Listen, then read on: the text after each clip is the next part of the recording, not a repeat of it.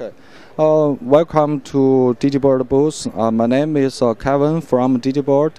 Uh, this time we show the uh, creative video wall in here.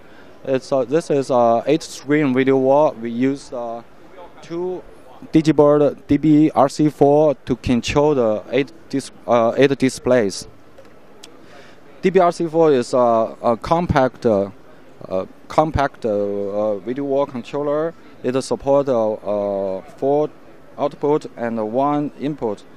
The input is, a digital dual link digital DVI and four DVI outputs. It also supports the 4K. Each output can be rotated or flipped independently. For more, uh, for more detail, please uh, visit our English website, uh, digibirdtech.com. Thank you.